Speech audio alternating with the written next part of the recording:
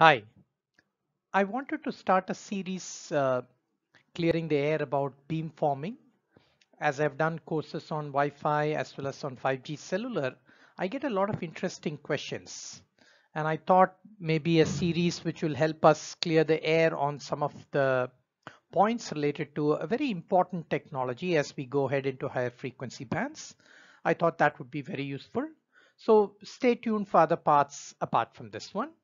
My name is Srikanth and I'm with NanoCell Networks.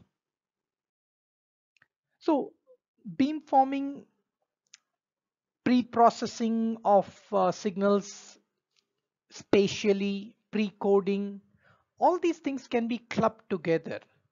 And it doesn't apply only to the TX side, though the standards usually deal with the TX side operations because of interoperability. Receivers can also implement beamforming, usually left to their proprietary ways. Okay, so it on the transmitter side, it can operate at symbol or signal level. On the receiver side, again, it's the same options. And whenever we talk about beamforming at the TX and or the RX, multiple antennas are involved. Uh, though I'm using a Wi-Fi AP, uh, it's applicable maybe to a gNodeB, uh, E node B, etc. Okay, and uh, it could apply to a variety of uh, station side equipment as well. So what are some questions that I've got? Because of the way by which we represent the net result of beam forming by these directional beam representation, which is I think a very useful idea people ask me, is it only applicable in line of sight channels? Quick answer is no. Uh, because especially if you take the context for Wi-Fi, uh, it's a typically heavy non-line of sight channel because of the multipath and the location of the TXS and RXS. Okay. And it, so does that mean that it will not work in line of sight? No, it was, you know, it can work both in line of sight or non-line of sight. And then what is this directional beam representation? Is it what is happening there? No, it is not necessarily what is exactly happening there. It's an abstraction to help us deal with this whole complex technology. Uh, it, has, it has its origins in maybe some very rudimentary form of spatial processing. But today's multi-path channels, um, very rich uh, in some senses, and with technologies trying to transport um, complex signals. This directional beam representation is just an abstraction which helps us kind of manage the complexity because remember real signals bounce off all kinds of things uh, in between. Okay. Another question I ask is, are the antennas special by themselves when we do beam forming? Not necessarily, because you can have, you know, as in many Wi-Fi APs, typically some reasonably low cost omnidirectional antenna okay? And so you can have a variety of antenna structures okay? So line of sight non-line of sight lots of different antenna structures all these can be managed with beamforming.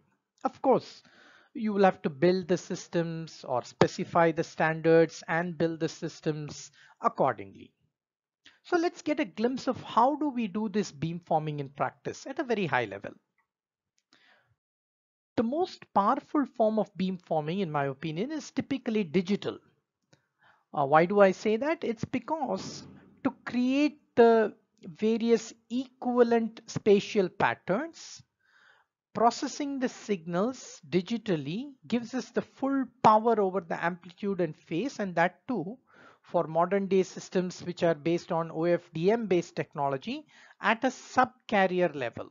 Okay, This is a very powerful idea and as you will see as we go on, this enables us to do some things, uh, you know, very interesting things. Is there a price to be paid for you know this digital beamforming? Absolutely yes. All these lines that you see, the transceiver chains, uh, DAC ADCs depending on TXRX, a PA, LNA, and then the actual physical antennas. All this has to be managed. Okay, so there is a price to be paid. Is there something simpler?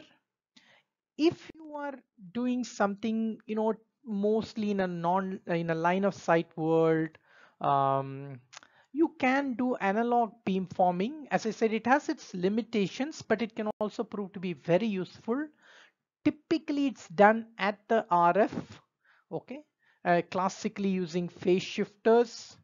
Uh, and it has some, as I said, it kind of adds to our uh, kit of things that we can have as we achieve certain interesting spatially oriented transmissions.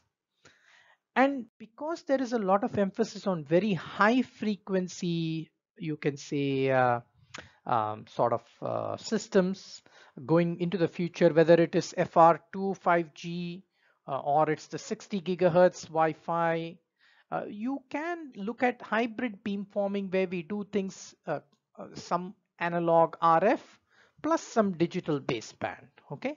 Sort of giving us the best of both worlds.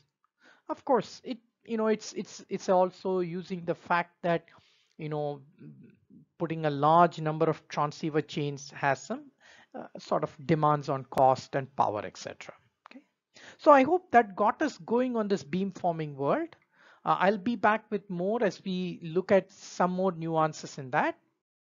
Please look at our website for various details and also at Wi-Fi Now Academy for courses there.